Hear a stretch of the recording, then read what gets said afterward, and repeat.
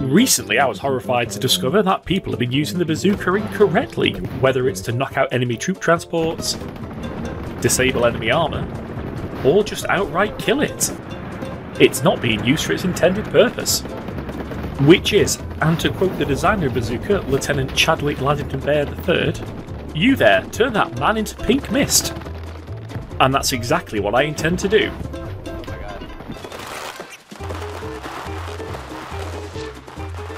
Or shank him or shoot him, shank him or shoot him. Uh, I'm having a bazooka day.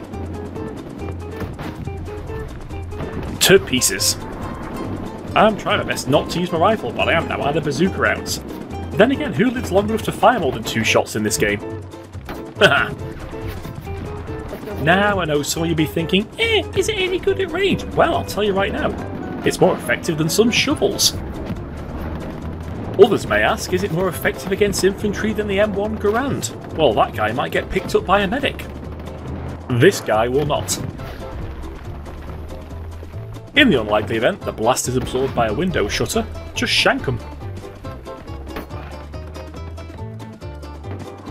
The bazooka is also excellent for the environment, scattering human fertiliser over a wide area for the crops.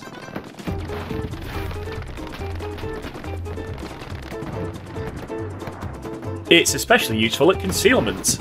See, I might be mistaken for a tank.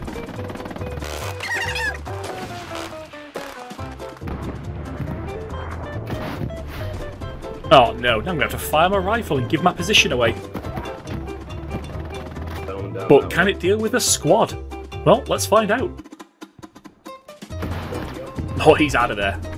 Oh, I can hear the footsteps of his little friends. They're on the other side of this bush. I'm gonna have to push. Think I got him. Oh, and judging by the mulch, it's a triple. Well, for your anti-infantry combat, make the right choice. Choose Bazooka.